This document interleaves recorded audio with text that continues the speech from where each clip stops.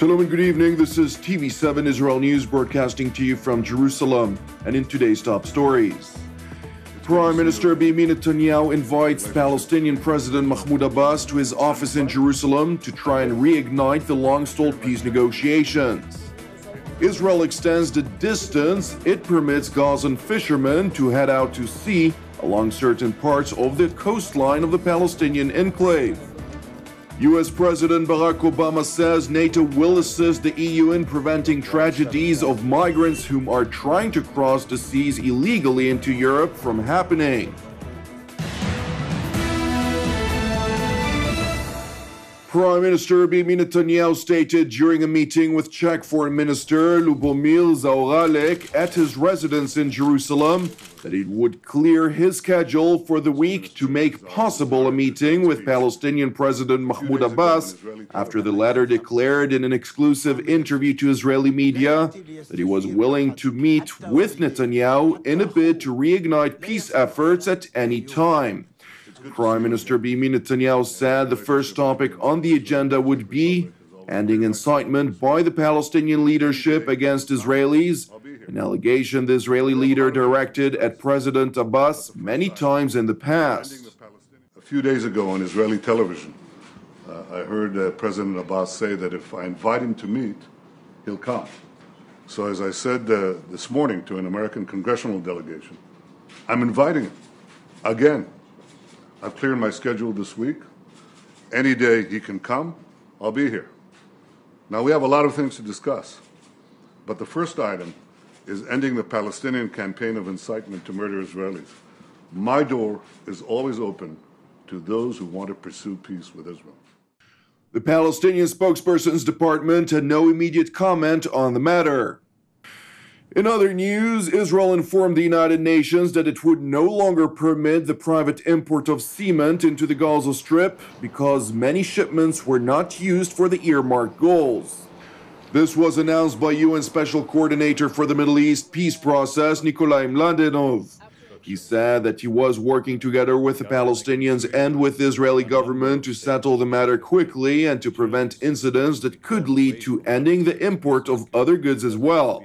UN officials said that the supply of construction material was vital for the rehabilitation of the many buildings damaged in the last round of fighting between the Islamist Hamas, which controls the Palestinian enclave, and the Jewish state, and that the people who used this material for other purposes were stealing from their own people, making their suffering even worse.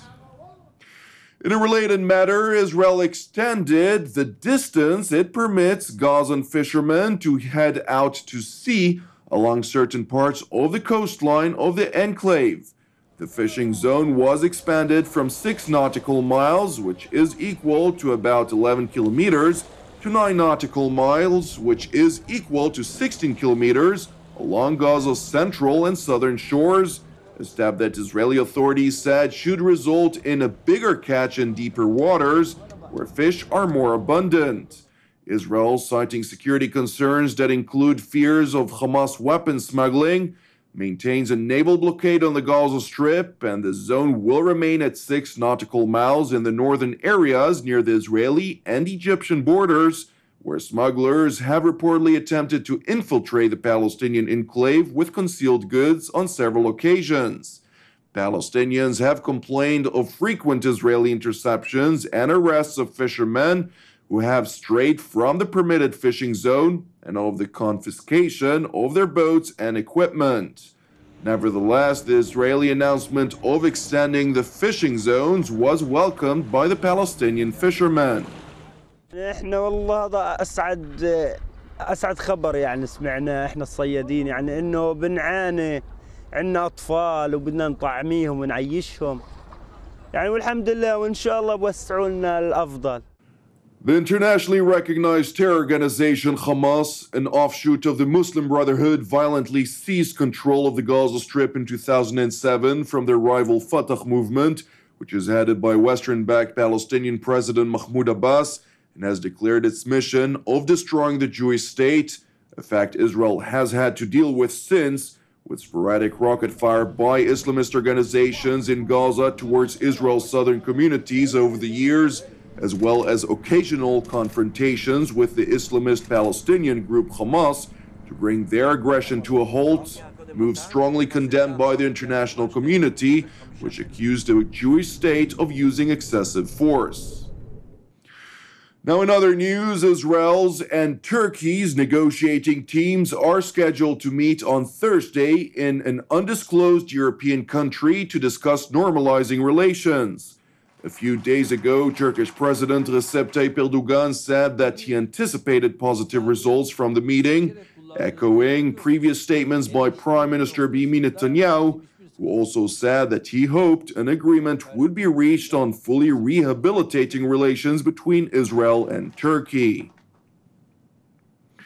Now to Washington, where US President Barack Obama held a meeting with NATO Secretary General Jens Stoltenberg, during which he said that the alliance could help the North African country of Libya against Islamic State, as well as train and assist troops in other countries, including Iraq and Jordan, to fight the extreme Muslim group. One of the most important functions that NATO uh, is performing and can continue to perform is to help in the training and assisting process for uh, troops in Iraq, uh, in Jordan, uh, in many of the areas in the region, uh, and we are continuing to cooperate on an ongoing basis uh, about operations potentially in areas like Libya, where you have the beginnings of a government, uh, and uh, we can, I think, provide enormous help in helping to stabilize those countries. Terrorism affects us all, from Brussels to San Bernardino, and all NATO allies uh, contribute to the US led efforts to uh, degrade and destroy uh, ISIL. And just last week, we started training of uh, Iraqi officers, and uh, we will continue to support the efforts of the United States and other countries to uh, fight uh, uh, ISIL.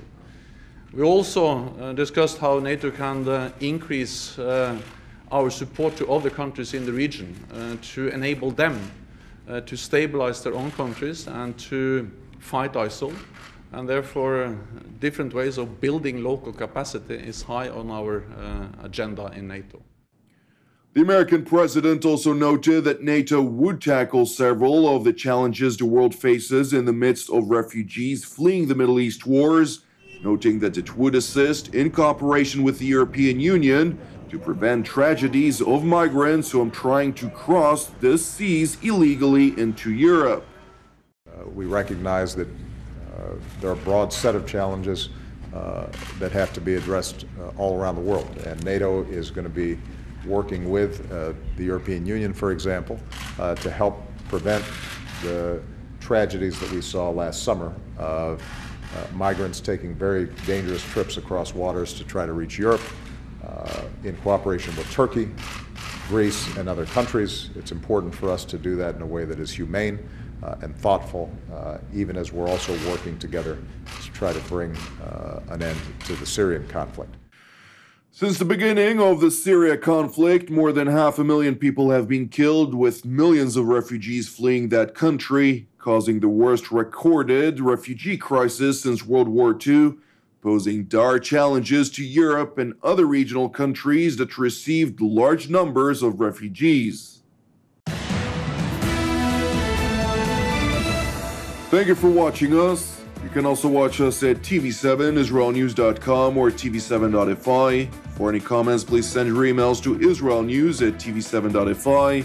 For more updates from Israel and the region, please join our Facebook page at TV7 Israel News. Praying for the peace of Israel and the peace of Jerusalem. Jonathan Hassan. Have a Erev Tov, and we will see you again tomorrow at the same time.